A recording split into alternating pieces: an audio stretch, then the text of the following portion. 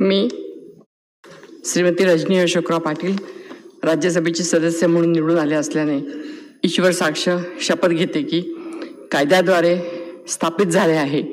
अशा भारतीय संविधानाबद्दल मी खरी श्रद्धा व निष्ठा बाळगीन. मी भारताची सार्वभौमता व एकात्मता उन्नत राखेन आणि आता जे कर्तव्य मी हाती घेणार आहे ते निष्ठापूर्वक पार पाडेन। जय हिंद।